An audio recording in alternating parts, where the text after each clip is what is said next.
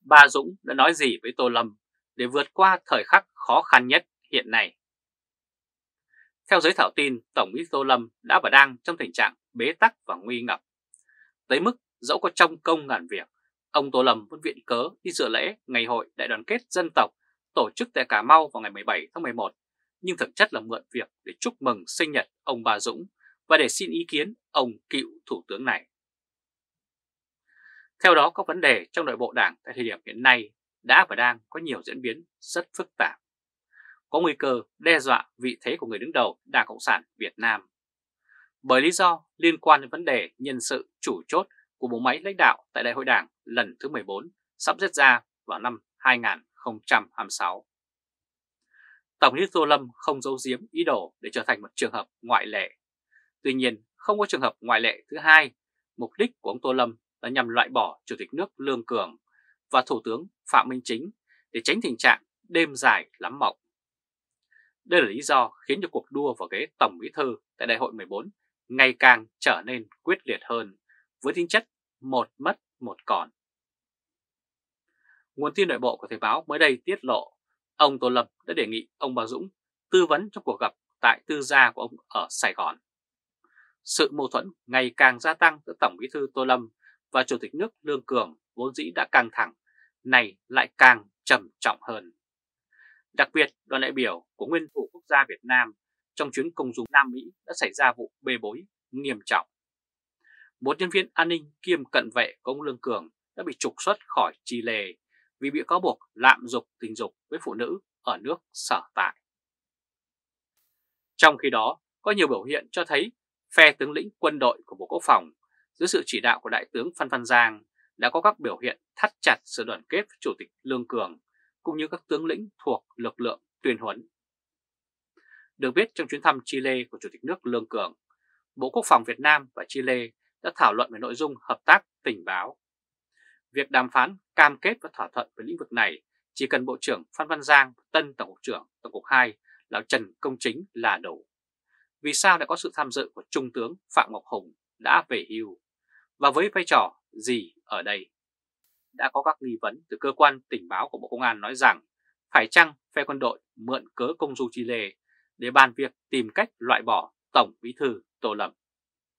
Với lý do để tránh tai mắt các tướng lĩnh quân đội, vốn là những người đồng hương hương yên của ông Tổng Bí thư Tô Lâm, đó là tướng Hoàng Xuân Chiến và ông Nguyễn Học Thái, hai người thân cận với Tổng Bí thư Tô Lâm. Việc các phe nhóm tướng lĩnh trong quân bộ quốc phòng tiến hành giải giáp đoàn kết là phương án tốt nhất và hiệu quả nhất để mà cân bằng quyền lực, tạo đà cho việc triển khai kế hoạch loại bỏ ông Tô Lâm ra khỏi ghế Tổng Bí Thư. Theo cựu Thủ tướng Ba Dũng, phe tướng lĩnh tác chiến của Phan Văn Giang và phe tướng lĩnh tuyên huấn của Lương Cường đang muốn xích lại gần hơn là điều có thật.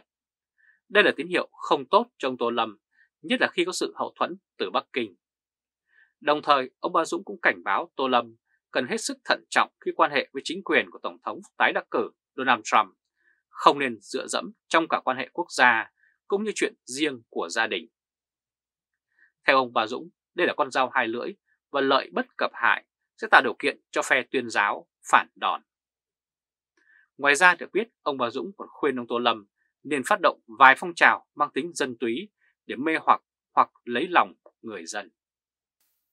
Quý vị và các bạn phải theo dõi bản tin ông Bà Dũng đã nói gì với Tô Lâm để vượt qua thời khắc khó khăn nhất hiện nay. Quý vị và các bạn hãy chia sẻ video này cho nhiều người biết và bấm nút theo dõi YouTube và Facebook của Thời báo .de để luôn được cập nhật những bản tin mới nhất, nhanh nhất và trung thực nhất. Từ Berlin, Cộng hòa Liên bang Đức chào các bạn và hẹn gặp lại các bạn ở bản tin lần tới. Trung Khoa Thời báo .de Chuyến đi Nam Mỹ của Lương Cường có thành công hay không và tương lai của Tô Lâm sẽ ra sao? Chủ tịch nước Lương Cường vừa kết thúc chuyến công du tới Nam Mỹ bao gồm thăm chính thức các quốc gia như Chile, Peru và tham dự hội nghị thượng đỉnh APEC. Đây là chuyến công du nước ngoài đầu tiên của ông Lương Cường với tư cách là chủ tịch nước. Theo giới quan sát, chuyến công du Nam Mỹ của Chủ tịch Lương Cường khó có thể đánh giá thành công tốt đẹp nếu như không xảy ra sự cố. Trong chuyến đi của ông Lương Cường, một sĩ quan an ninh và là cận vệ trong đoàn đã bị cảnh sát Chile bắt giữ. với cáo buộc lạm dục tình dục với một phụ nữ công dân nước sở tại. Vụ việc này không được nhà nước Việt Nam đưa tin, thậm chí chính phủ Việt Nam đã yêu cầu mạng xã hội Facebook chặn hay xóa bỏ các tin tức có liên quan. Điều đó càng khiến cho mạng xã hội càng quan tâm hơn, đồng thời vẫn tiếp tục dấy lên những nghi vấn khác nhau, như liệu có phải nhân viên an ninh Lại Đắc Tuấn chỉ là lê lai cứu chúa để tránh liên quan đến những nhân vật cấp cao khác trong đoàn hay không. Cũng như một số thuyết âm mưu cho rằng sự cố nêu trên có bàn tay của Bộ Công an với sự chỉ đạo từ lãnh đạo cấp cao nhất trong đảng. Mục đích là gây thiệt hại và tai tiếng suốt đời khó có thể gột rửa được nhằm mục đích hạ uy tín Chủ tịch nước Lương Cường.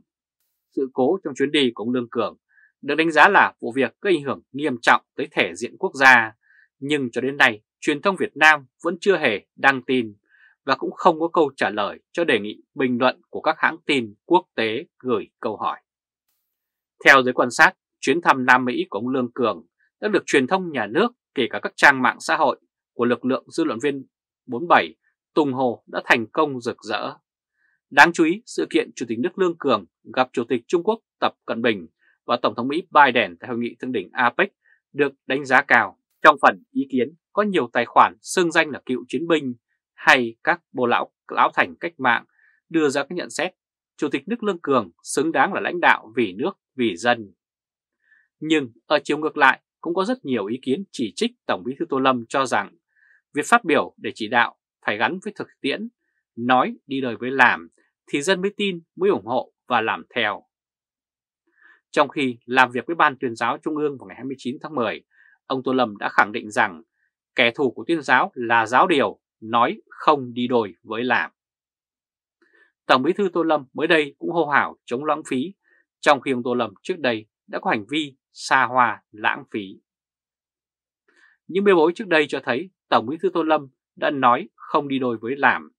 Điều đó sẽ không thu phục được người nhân tâm của người dân, nhất là lực lượng hơn 5 triệu đảng viên Đảng Cộng sản Việt Nam. Trong khi số đông lãnh đạo cấp cao trong đảng đã và đang bày tỏ sự ủng hộ, kiên định với con đường đi lên chủ nghĩa xã hội, vốn đã lỗi thời. Phản ứng của lực lượng dư luận viên 47 như việc kể trên có liên quan gì với các đánh giá của giới phân tích quốc tế mới đây khi cho rằng không thể xem nhẹ khả năng Chủ tịch nước Lương Cường sẽ vươn lên vị trí Tổng bí thư của Đảng Cộng sản Việt Nam tại đại hội lần thứ 14 sẽ diễn ra vào đầu năm 2026. Cũng xin nhắc lại cách đây ít ngày, sau chuyến đi đầy tất khuất của Chủ tịch nước Lương Cường sang Trung Quốc vào trung tuần tháng 10 năm 2024, chưa đầy một tháng sau, đoàn đại biểu Đảng Cộng sản do ông Phan Đình Trạc dẫn đầu cũng lại lũ lượt kéo sang Bắc Kinh, theo lời mời của Chủ tịch Trung Quốc Tập Cận Bình. Những sự kiện này cho thấy việc Tổng bí thư Tô Lâm có thể trụ lại đến đại hội đảng lần thứ 14 hay không vẫn còn chưa chắc chắn. Quý vị và các bạn vừa theo dõi bản tin chuyến đi Nam Mỹ của Lương Cường có thành công hay không và tương lai của Tô Lâm sẽ ra sao. Quý vị và các bạn hãy chia sẻ video này cho nhiều người biết và bấm nút theo dõi YouTube và Facebook của Thời báo .de để luôn được cập nhật những bản tin mới nhất, nhanh nhất và trung thực nhất. Từ Berlin, Cộng hòa Liên bang Đức chào các bạn và hẹn gặp lại các bạn ở bản tin lần tới. Trung Khoa Thời báo .de